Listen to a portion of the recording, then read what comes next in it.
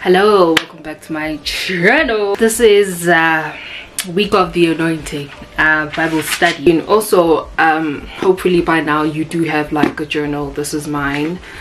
Um as you can see well i'll just open it from this side. All of these pages are written in it and these are the conversations that i've had with god um ever since like i've started being intentional about getting to know him um learning. I, I pretty much have a lot. I think i have like two other journals.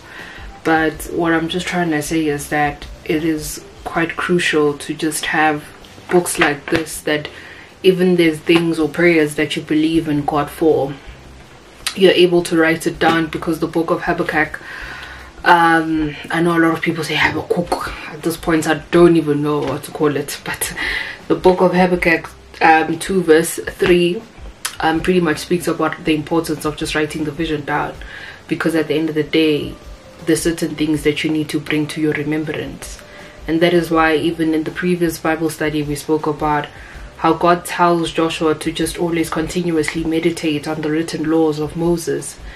And we see the powerful part about having things that are written because you're able to come back to it you're able to touch on it. You're able to bring to your remembrance. Even when you lose the faith you're able to be reminded that once upon a time i wrote this down and i truly believed god for it.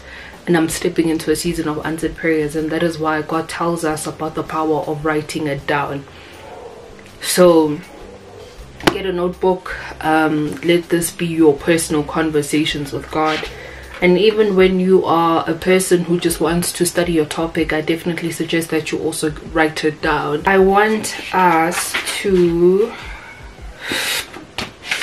touch on the book of acts. I want us to touch on the book of acts acts chapter 12 because to be honest um this this bible study was not a bible study that i actually prepared for and then we'll just let the holy spirit lead us because sometimes i feel like it's also important that you challenge yourself with the word and just allow god to flow sometimes. Sometimes you know just just allow the holy spirit to flow. So i want us to go to the book of acts chapter 12 like i said get a physical bible. I'm reading in the niv version for anyone who is interested. My bible is in the niv version. Well the bible NIV version titles this as Peter's miraculous escape from prison. Today, I'm pretty much going to touch on the importance of faith. We're going to read from Acts chapter 12, Acts chapter 12, verses 1 to to verse 16 and for this one i think i'm just gonna a whole lot more on this verse. Okay let, let's start reading. So this is acts chapter 1 verses 1 to 16 it was about this time that king herod arrested some who belonged to the church intending to persecute them Verse 2 He had James, the brother of John, put to death with, a, with the sword. When he saw that this met the approval among the Jews, he proceeded to seize Peter also. By the way, um, the people that Herod seems to be seizing here are the disciples of God, but we'll dissect it as we go. Verse 4, well, verse 3 says, When he saw that this met the approval among the Jews, he proceeded to seize Peter also. This happened during the festival of unleavened bread. After arresting him, he put him in prison, handing him over to be guarded by four squads of four soldiers each. Okay, Herod intended to bring him out for the public trial after the Passover. So it's in the midst of a festival. Herod captures Peter. He intends on killing him because he has already killed James. James is one of the disciples of Jesus, um, one of the disciples that we know whose brother is John. John was also a disciple. Herod has killed James. He captures Peter to kill him after this festival. Remember, it's the unleavened festival. So, verse 5 says, So Peter was kept in prison, but the church was earnestly praying to God for him. 6 the night before herod was about to bring him to trial. So this is the night before peter is about to just die and be killed by herod. It's the final hour. Peter was sleeping between two soldiers bound two chains and sentries stood guard at the entrance. And suddenly verse 7 an angel of the lord appeared with him and a light shone in the cell. He struck peter on the side and woke him up. Quick get up this is what the angel says he said, and the chains fell off Peter's wrists. Verse 8 The angel said to him, Put on your clothes and sandals. And Peter did so. Wrap your cloak around you and follow me, the angel told him. Peter followed him out of the prison, and he had no idea what the angel was doing was really happening. He thought he was seeing a vision. They passed the first uh, and the second guards and came to an iron gate leading to the city. It opened for them by itself, and they went through it. When they had walked the length of one street, suddenly the angel left him. Then Peter came to himself. This is verse 11. Peter came to himself and said, Now I know without a doubt that the Lord has sent his angel to rescue me from Herod's clutches and from any everything that the Jewish people were hoping would happen. Verse 12. When this had dawned on him, he went to the house of Mary, the mother of John, also called Mark.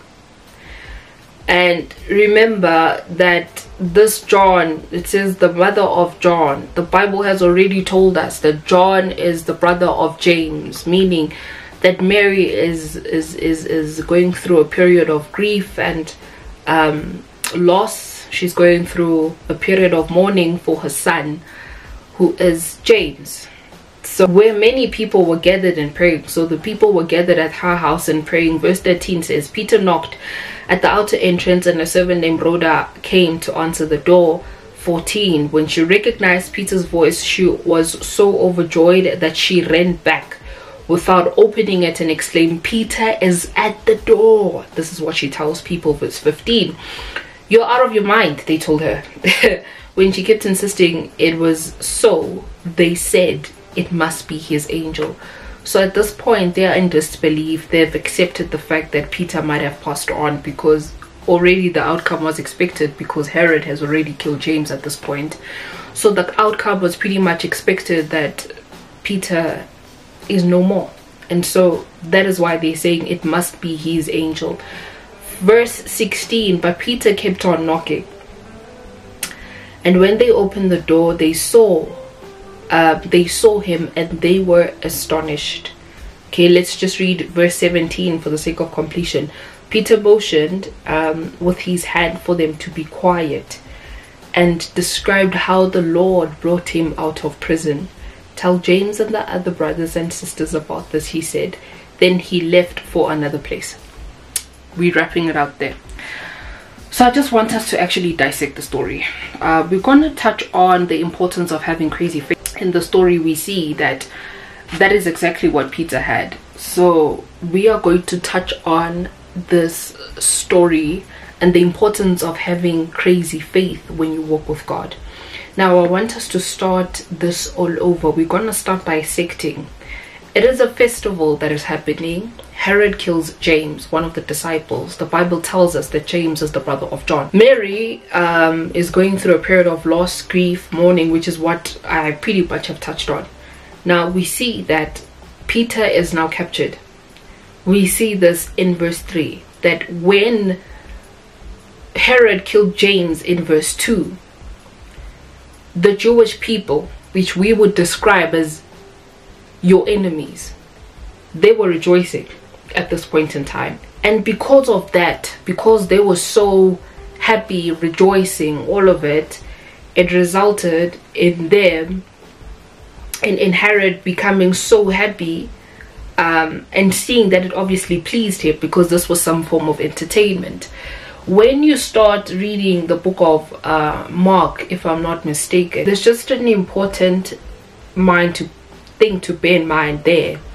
Because we see the same thing happening where Herod was being um, I don't want to say seduced but he was just being entertained by a lady. Because of that he asked this lady what is it that I can do for you to please you? And she said she wants the head of John the Baptist on a platter which she was basically instilled to have those thoughts by her mom. Her mom was the instigator of all of this. And so we see the same thing happening there where Herod had a lot of respect for John. He feared John because John was a man of God. But because of what the enemy wanted, that is what he was doing. He was just letting the outward influence of the enemy get to him. And eventually we see that he indeed killed John the Baptist and put his head on the platter, and we see the same thing happening here again, where the Jewish people are rejoicing and they are just happy, uh, fulfilled with what is happening during this entire festival. And Herod decides, because these people are so happy,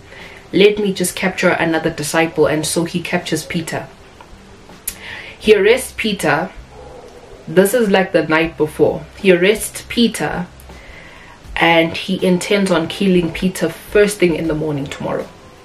So, first thing tomorrow, he intends on killing Peter. Now, this is actually what I want to do to, to, to, to dissect and tell you that sometimes you might find yourself in situations where people hurt you because it pleases other people. No matter how much form of respect or integrity that you can have, you will definitely come across people who are always looking forward to your downfall people who are always rejoicing when the negative things happen to you. We see the same thing happening here. Where Herod captures Peter and it was so pleasing to the Jews. What was so pleasing with them seeing someone being put to death who is an innocent person? They were rejoicing. And being a child of God comes with these obstacles that you're gonna have to be okay with a lot of people going against you. You're gonna have to be okay with standing against the majority because the majority will vote for you to get taken out. We see this happening here where the enemy is pleased. He is rejoicing that this is actually happening to Peter. And Herod obviously is feeling himself. He's feeling the vibe, the atmosphere is obviously building up to the way that he's feeling. He's feeling quite pleased, quite satisfied. He is feeling all sorts of emotions that he is about to kill another disciple of God. And so, this is just the important part of just recognizing the power that you have in Christ. Peter, when Peter was seized, we see that in verse 4, we see that he had four squads of soldiers. Which is four times four. He had 16 soldiers accompany him as one man, a disciple who is a man of integrity. Peter did nothing wrong there was nothing that he did. He did not murder. He did not steal. He did not basically live in canality to say that he lived a destructive life, to say that he deserved the snow. All he ever did was believe in the Most High, and we see Peter being held down by 16 soldiers. And sometimes you just truly need to recognize your power in the Most High King, recognize your abilities in God, because if you were not that important to the kingdom of darkness, then that means something is not right. Sometimes you just truly need to recognize your abilities in the Most High King. Peter was a faithful servant, a faithful disciple of God. He has 16 people holding him down, 16 soldiers holding him down for no particular reason. Now, this is obviously to show you how much the enemy is intimidated by the children of God we have 16 people hold him. That on its own shows you affirmation that even when you go through storms and the enemy keeps rejoicing he holds you down he throws everything at you. That truly shows you the extent and and and the, the extent of your calling. It shows you the extent of who you are in christ. It shows you how important you are to even be a threat to the kingdom of darkness. So we see peter being held by the 16 soldiers. He's about to be taken. He's chained, cuffed, all of it, escorted by 16 soldiers to be killed the following morning. Now, the interesting part about this is that Peter was kept in prison, and we see this in verse 5. Now, I want to show you the important part of actually the important part of association Verse 5 tells us that the church was praying for Peter, which also shows us the importance of being part of a church in the body of Christ. Many people don't understand and think that the body of Christ, when we refer to a church, that we refer to a building. But a church is basically a gathering of saints. The church was gathered in the house of Mary, a mom who is going through grief and loss and obviously, we know what the expectation is because even so, the church knew that Peter was going to die. We don't know what the church was praying for. Maybe they were praying for Peter's soul to rest in peace. We don't know.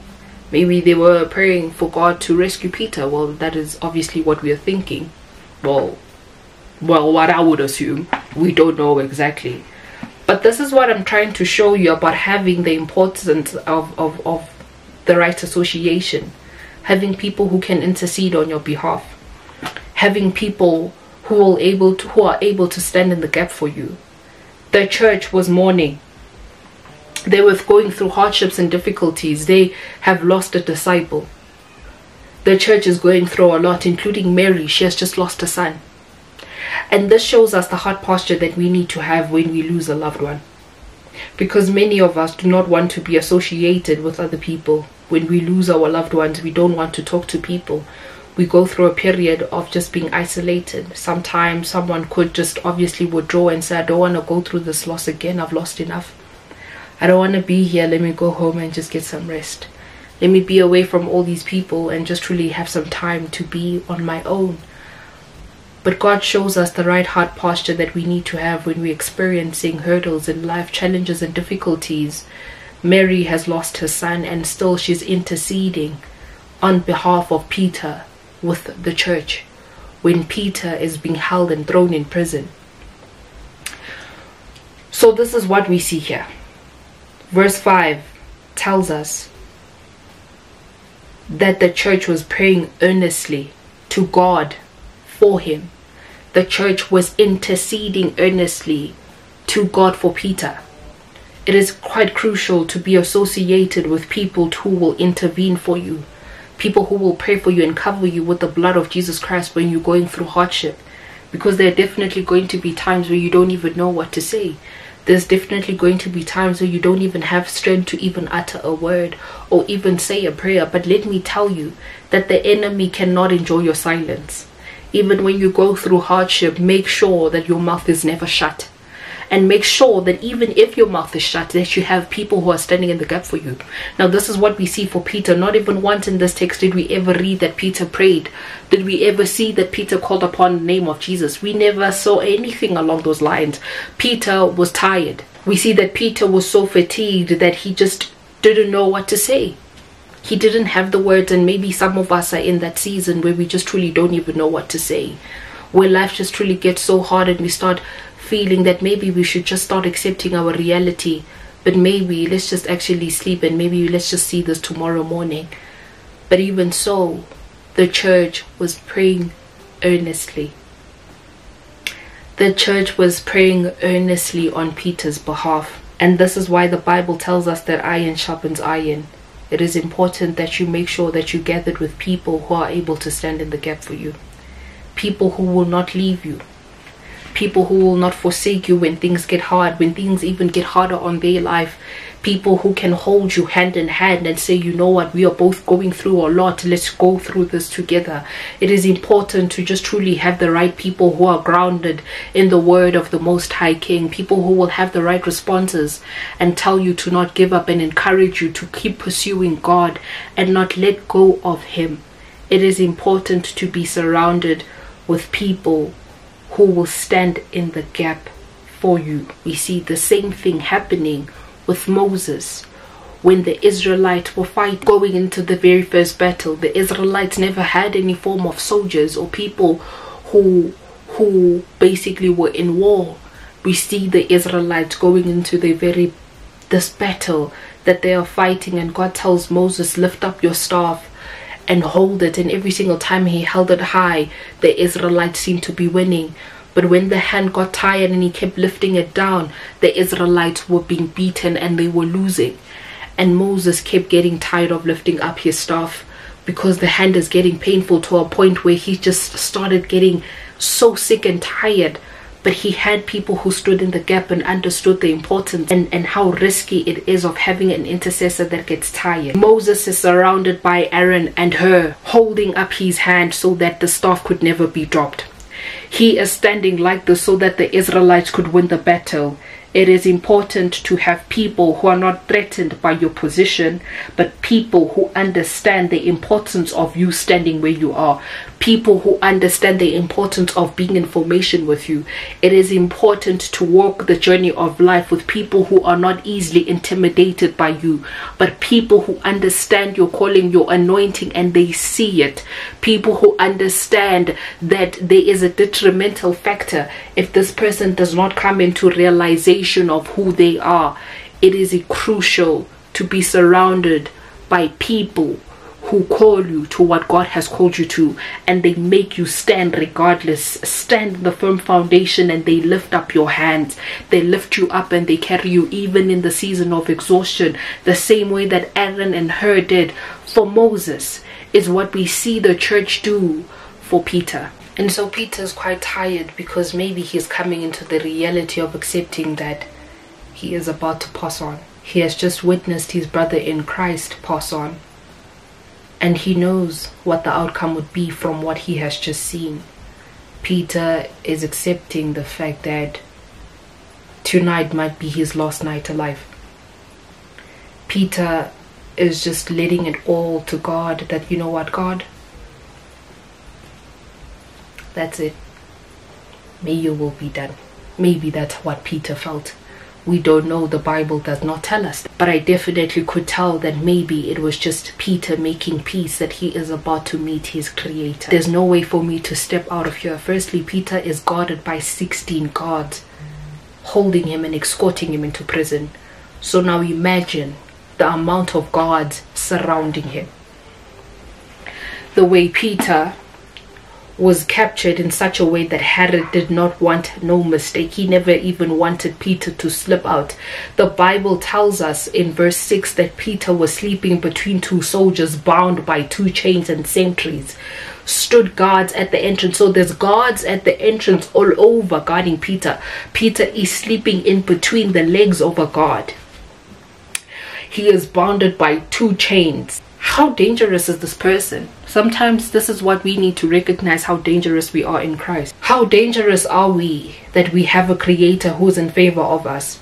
How dangerous is it that people recognize the power of Jesus? That they would capture Peter to this extent and guard him down, chain him down with everything to make sure that this man does not escape. How dangerous are we in Christ Jesus that when people look at you, they already have plans that if I could just kill her, the enemy says, if I could just throw multiple accidents, that this person does not survive. The enemy says, if I could just truly keep throwing everything to make sure that this person does not escape this hit. How dangerous are you in Christ Jesus? We see this with Peter. He's captured. And from what we see from verse 6 is there's no way out for Peter none whatsoever. There is no way that peter can escape here. He's guarded by so many people. He's resting in between two soldiers. Now i want to make you make you understand something. The bible in verse 6 tells us that peter was sleeping between two soldiers. Peter was sleeping between two soldiers they are guarding him. There's soldiers standing outside the entrance.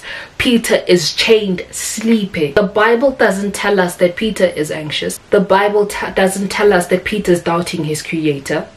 The Bible does not tell us that Peter is is is confused. He's just staying up hoping that something happens. The Bible doesn't tell us that Peter is even going through a season of prayer. The Bible tells us that Peter was sleeping. The Bible tells us that Peter was sleeping.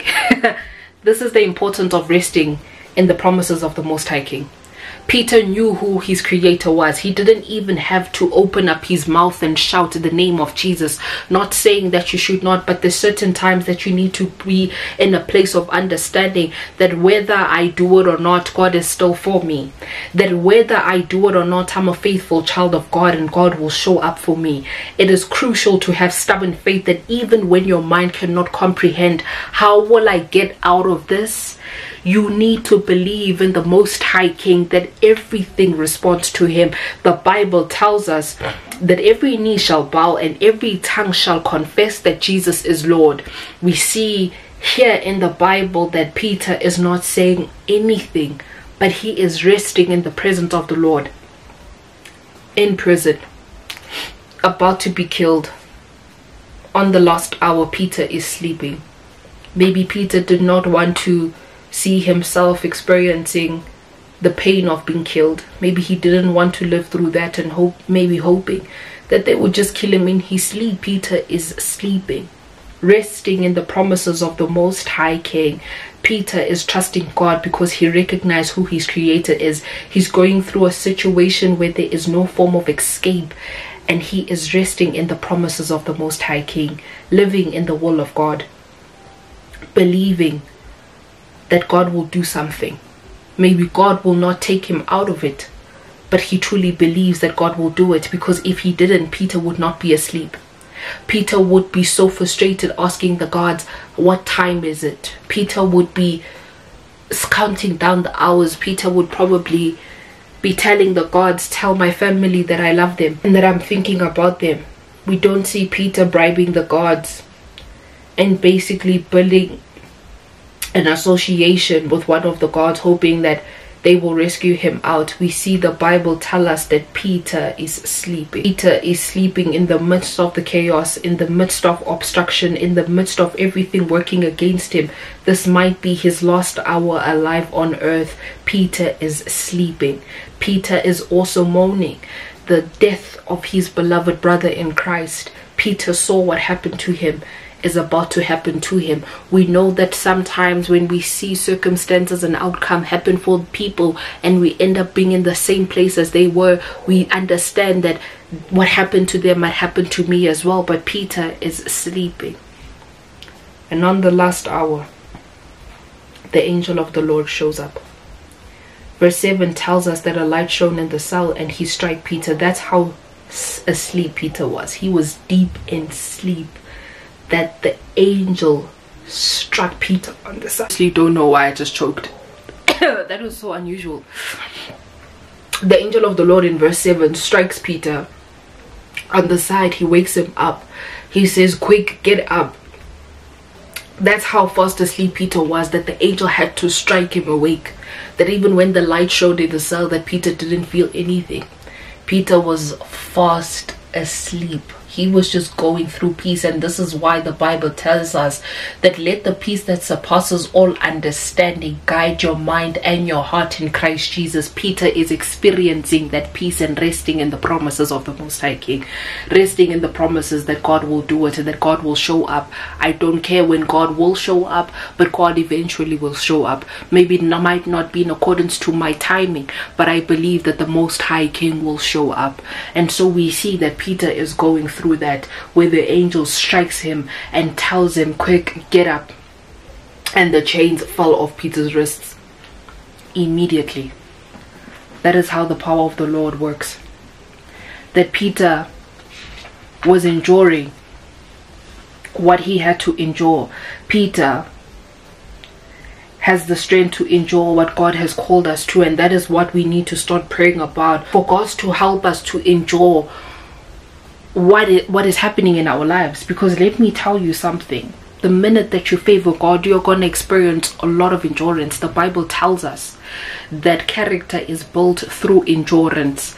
The Bible tells us that even though we walk through the valley of death, we walk through it. It doesn't say that God takes us out. Prayer should not be your way of worrying out loud. We don't see Peter worrying out loud in a form of prayer.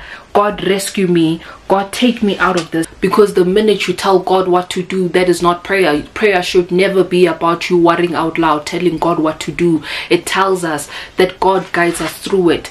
Even when Shadrach, Abednego, and Meshach went through the fire, they literally said bring it on they when daniel was literally seated with the king he when he was told to eat the food he said we see in the book of Daniel that Daniel does not bow down to other gods. He doesn't even care that even if my God shows up or not, I'm not going to do it still. He believes in who his creator is.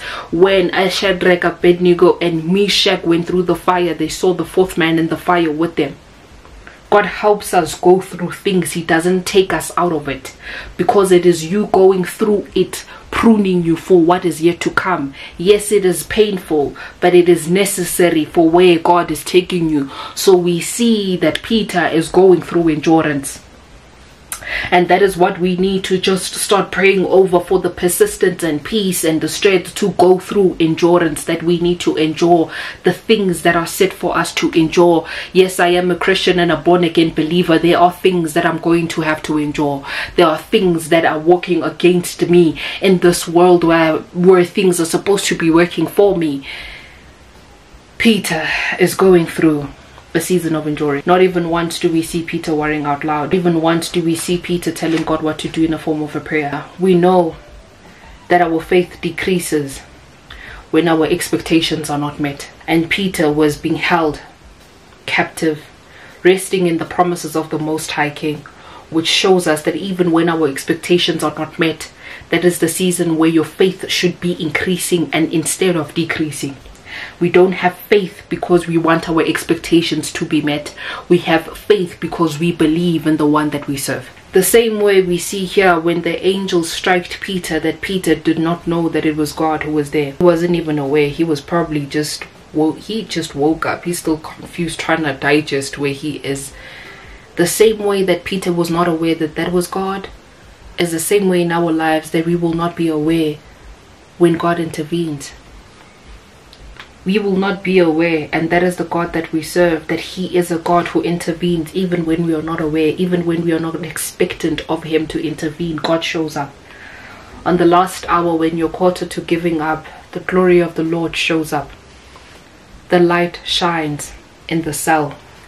On the very last hour where peter's probably about to give up god shows up. When you least expect it that is where the creator shows up when you didn't think it was possible, God says, All things are possible through me. And we see that in the book of Mark. We see this man going through, and his son is going through an impure spirit. And and as they're about to cast the spirit out of him, the man tells Jesus, he says, the disciples could not cast out the spirit from him. And Jesus says, You do not believe, how long should I stay with this generation? And that shows us that certain things do not work because of our belief. God meets you at your level of belief. If that man had believed the same way as Jairus believed that Jesus would heal his daughter, who was dead, as the people had said, and that is why when Jesus truly touched him, he said, She is sleeping and not dead. That is because that man had faith on behalf of his daughter that Jesus would do it. The man whose son had an impure spirit did not have that belief, and that is why Jesus says, How long will you not believe? He says, If you can, he says to Jesus, If you can, and Jesus is like, Hey, whoa, if I can, he says, If you can, and Jesus says, Wait a minute. If I can, he says, things are impossible with men, but all things, not a few things, he says, all, not selective. he says, all things are possible through God is struck by the angel to wake up. He is asleep. The minute he stands up, the chains fall off immediately. He is a way maker and a promise keeper that even when you do not know how you're going to get out of something, he is the same God who makes a way where there isn't. God meets you at your level of unbelief. The problem of your belief. God meets you at your level of belief. The problem with this generation is that we only see God do things for other people and we're so quick to say God has favorites without even believing that He can do it for us. Jesus went back to his hometown and he healed a few people. Why? Because a lot of them saw him as the carpenter's son and a few saw him as the Messiah. A few. And that is why Jesus only healed a few and he kept going he kept going with his journey because God meets you at your level of belief. And so we see Peter here, a man of God who has always believed in the Most High King. He literally walked this journey with Jesus and saw the miracles that he could do. He is a man of God who just truly believes in the Most High King. The angel strikes Peter, tells him to put on his clothes and sandals. And mind you, this is the same Peter who's resting between the two guards. The angel comes to him, tells him to put on his sandals, to put on his cloak, and to follow him. Sometimes this is where God finds us, where we are in situations where we are so messed up, where there is no way out, and He says, Put your sandals on and put your cloak and follow me. We don't know where the Most High King is taking us, but God says, The season, follow me. And so Peter follows the angel of the Lord. We see that Peter had stubborn faith in this period that even he still does not fathom and he, he can't understand it. But Peter had stubborn faith in this season and the angel of the Lord says follow him. He had no idea. The Bible says he had no idea what the angel was doing was really happening. But even in the midst of that, that's what verse 9 says he says it says he thought he was seeing a vision. Even in the midst of that we don't see peter asking questions of where are we going who are you what is happening. And sometimes you just really need to be in a season where you don't have to always want god to answer your questions. God why did i lose this parent at a very young age? God why did that happen to me? Sometimes you need to find yourself go through seasons with ans- with questions that are unanswered. Peter does not even ask the angel of the Lord, "Why is it that God allowed me to be handcuffed and be and be put in prison?" He doesn't ask the angel of the Lord, "Why did God allow for for James to be killed?" He was the disciple of Jesus Christ. Why did God allow it? Peter does not ask God why. And through this we see the importance of having to journey with God and believing in Him and trusting Him even when your prayers go unanswered, even when the questions that you have go unanswered. But Peter, but Peter in verse 9, it tells us that Peter had no idea what the angel was doing and what was really happening, which shows us our level of trust in the Most High King. We see how much Peter trusted God that he didn't even ask these questions.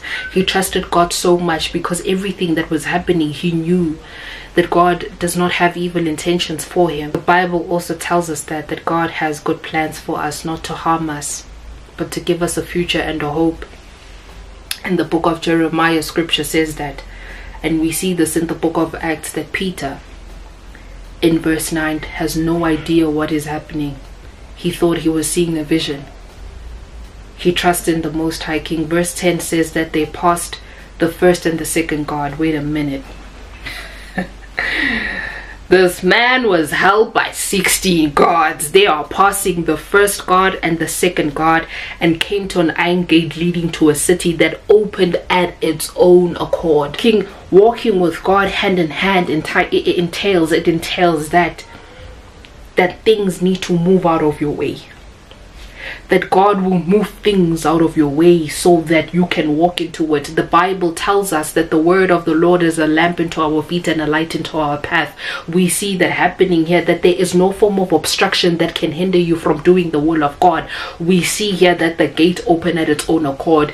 These soldiers and guards could have still captured Peter. He was walking hand in hand with the angel of the Lord. God tells us that when He has called you to something, there is nothing that will prevail. There is nothing that will hinder you in doing the will of God. There is nothing that will stop you from attaining what God has spoken. The word of God does not return to him void. That is what the Bible tells us. So when God speaks everything, his word precedes everything. we see that happening here that even the gates open at its own accord. God tells us that in our journey he says he will remove the bars of iron and the gates of bronze from our journey. That is what we see happening here that the gate has opened at its own accord meaning that there is no form of obstacles no obstruction that could hinder what god is doing even though it may seem like it. But god is a way maker that even when there is no way out you cannot understand how you're getting out of this. You're throwing tantrums, you're getting mad. How could God lead you to a dead end like the Israelites under the leadership of Moses? And Moses tells them to stay calm. He lifts up his staff, and God tells him to lift up his staff, and we see the Red Sea being parted. He is the same God.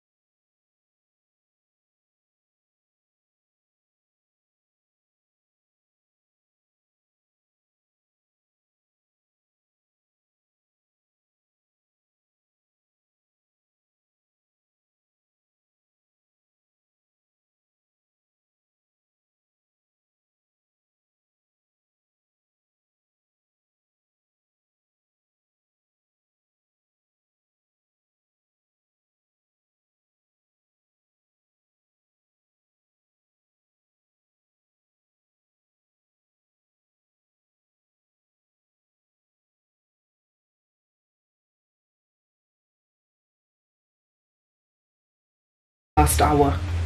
He is a God of intervention who intervened when everyone thought it was done. God says it is not over until I say so. You need to teach yourself to be within proximity with Jesus. Walk in close proximity with Jesus. That God, whether you do it or whether you